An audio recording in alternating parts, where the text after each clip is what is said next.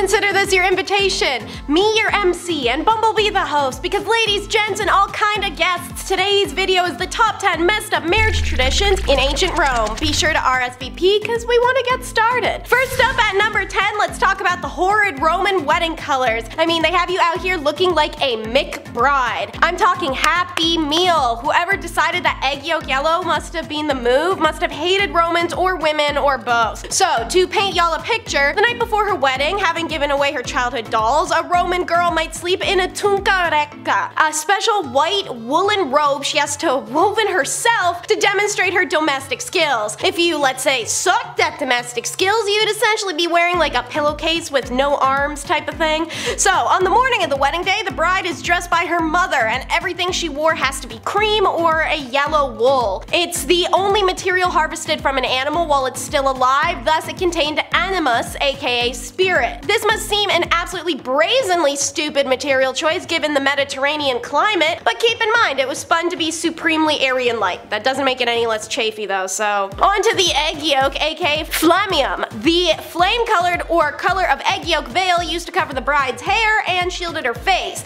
It signaled the transition into a matron's palla, a huge rectangular shawl worn by wedded women. But before you slap that rain poncho on her head, don't forget to do the elaborate Sunny Creens hairstyle. What's that mean in English? Intercourse creens. It's six special braids wound with a bunch of fragrant herbs to do with fertility, but also covers the fact people were smelly. Don't worry. You add more cotton this time to her hair in colorful strips. Last but not least, like your daughter is a present under the tree, you tie her up in a bow. More accurately, a cingulum. It's a wool belt tied with something called a Hercules knot that her husband has to be competent enough to undo on the wedding night. Toss on a pair of neon yellow slippers and you're ready to go down the aisle looking like a crumpled napkin covered in mustard. Let's go. So, marriage required giving up a lot of yourself, including your girlhood. Number 9 is Bye Bye Barbie. As we all know, girls were married off while still young, but to give you like the smallest semblance of peace, many Roman emperors upheld and enforced that consummation wasn't allowed despite a marriage occurring until a woman reached a certain age, just to ensure they didn't die unnecessarily and childbirth was a major 50-50 back then. Some women were genuinely barred from giving birth well into their 20s if their family had a bad rep of lady deaths. But the night before a wedding, no matter what happened once the knot was tied, pun intended, and no matter her age, a girl set aside dolls, old hairbrushes, and dresses and donned in matronly garb for the first time and ceremoniously burnt her old items. By dedicating her toys and youthful possessions to the household gods, it became a transition in which she would emerge a woman. Even if you're like 20,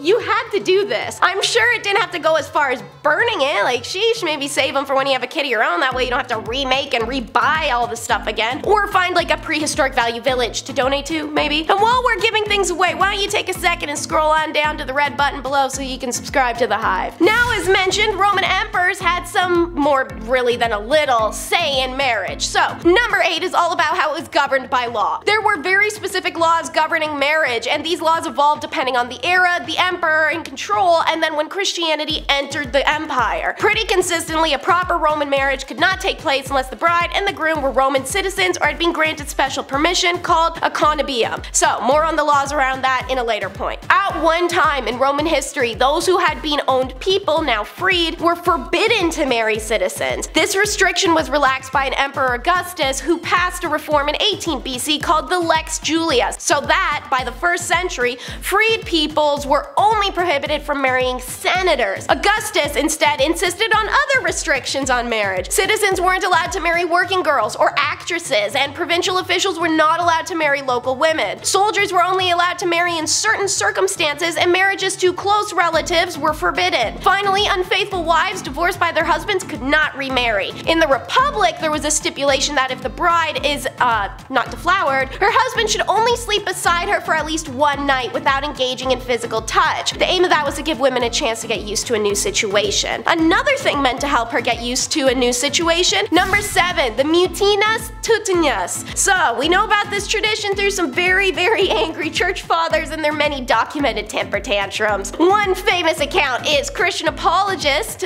Arnobius, who angrily scribbled that the Roman matrons were taking taken for a ride on Tutunus with its immense shameful parts. In reality, what he's actually describing with a lot of hostility and hypocrisy as an obscene loss of purity was actually a ritual that allowed brides to have autonomy and learn not to be embarrassed by the act of intercourse and their bodies role in it. In an era where that didn't get to happen. So stop being mad bro, it can't always be about men. The ritual goes that before the consummation of her marriage, a Roman woman had to go through the process of deflowering herself. In order to do that, she made her way to the temple of Mutunus and the marriage deity and sat on his appendage. She didn't have to do more than a quick sit if she didn't want to. It was up to the woman. Some wanted to do the sit down, ouch, okay, time to get up and leave, got lots of wedding planning to do, while other women would you know? So whatever kind of woman you are, once you walked out of that temple, albeit now a little bit bow-legged, you were also now able to have proper relations with your new husband. And a deity being your first penetration would guarantee fertility and healthy children. As also mentioned previously, their society aimed for women not to have relations on the first night anyways, and rather sleep beside their husband.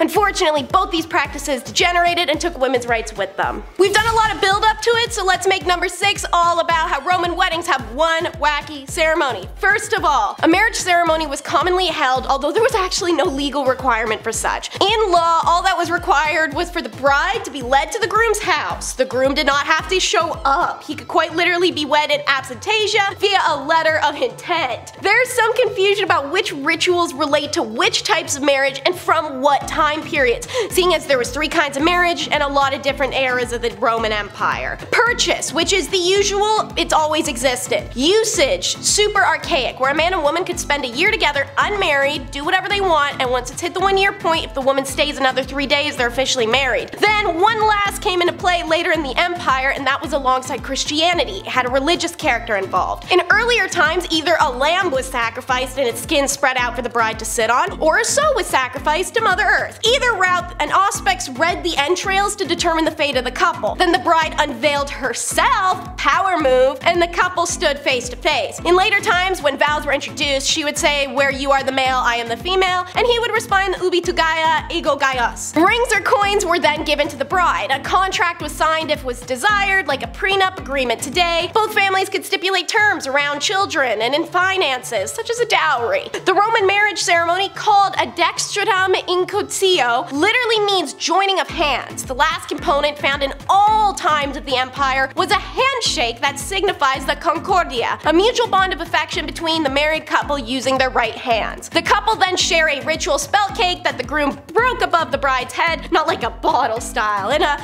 let me crumble this above your elaborate hairstyle to feed your head lice kind of way. And then after the wedding comes the domum deductio, number 5. So it's a big old procession and the most important part of the wedding day, signifying a public acknowledgement of the wedding. The procession could begin at the bride's family's hearth with a ritual where she would be pulled from her mother's arms and a demonstration of the bride's modesty and sadness of leaving the family home. The entire procession then paraded to the groom's house and the bride specifically was escorted by three younger men, one carrying a torch and the other two would be holding her arms. They are followed by the pronuba, five white pine torches that are carried to honor Ceres, an earth fertility goddess. The bride then has a bouquet of distaffs or spindles to nod to her duty as a woolmaker for the family. Then would come the couple's friends and family behind them. Anyone else could join the procession and many people did just for fun, all while throwing candied nuts at the bride. The groom received the bride at the door, which she entered with the distaff and spindle in hand, and at the threshold the bride adorned the doorway post with the fat of a pig to honor Ceres, the fat of a wolf to honor Rome, and then remember those raw wool strips all up in her hair? They get added to the door too. After she's finished her arts and craft project, the husband would present her the household keys. In pagan times she'd do a consent chant, then he'd sweep her up and carry her in the doorway since tripping was a bad omen. Guests were invited in for a meal and only left when it was time to undo Hercules' knot. Like levels in a video game, now outside the bedroom door, the groom presents the bride fire and water, the elements of the household maintenance. The bride touches each, and then her husband would